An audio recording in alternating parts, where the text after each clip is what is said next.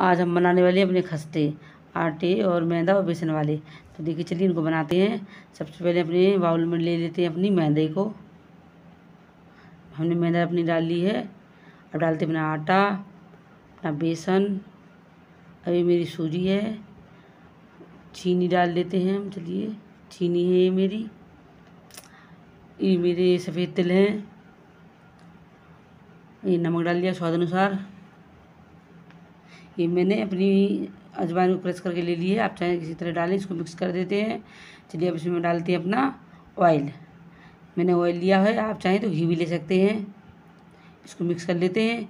देखिए, अब हमारा ये गुड़ है, गुड़ मेरा थोड़ा सॉफ्ट था तो मैंने इसी तरह से ले लिया है। आप चाहें तो घोल के भी ले सकते हैं।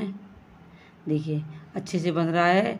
इसमें हम थोड़ा थोड़ा इसको बन रहा है तो इसमें थोड़ा थोड़ा पानी करके डालेंगे, इसको गूँज लेते हैं। चलिए, पानी डाल लेते हैं। देखिए, मैंने इस तरह से इसको एक डो तैयार कर लेते हैं अच्छे से। हाँ ये हमारा डो तैयार हो चुका है। इसको बेल के काट के आपको सेक के दिखाते हैं, चलिए। बेल ली है मैंने, अब कढ़ाई में मैं अपना ऑयल डाल देती हूँ। कढ़ाई में मेरा ऑयल डल चुका है। इसमें हम अपने, डाल देते हैं अपने खस्ते। तो चलिए, खस्तों को तल लेते हैं अपने। देखिए, खस्ते मेरे लगभग मैंने कढ़ाई में पूरे डाल दिए हैं। अब मैं बस इनको सेक लेती हूँ। देखिए इस तरह से मैं सेक लेती हूँ। ये मेरे खस्ते बहुत अच्छे से सेक जाएँगे गोल्डन ब्राउन हो जाएँगे। इसके बाद मैं आपको दिखाती हूँ, ये बहुत टेस्टी और बहुत हेल्दी हैं, क्योंकि हमारे घर पे बने हुए हैं। इन्हें इन्हें बनाई आप भी खाइए, बहुत बहुत यमी लगते हैं ये। देखिए, इस तरह से थोड़े गोल्डन ब्राउन होने लगे हैं।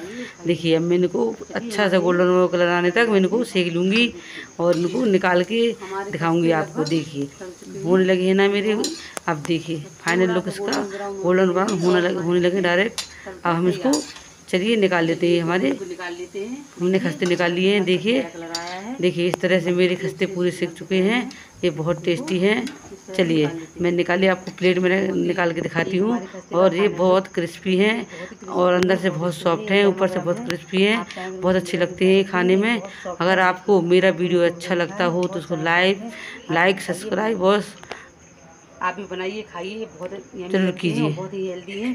अगर मेरा वीडियो आपको पसंद आए तो इसे लाइक शेयर सब्सक्राइब ज़रूर कीजिए।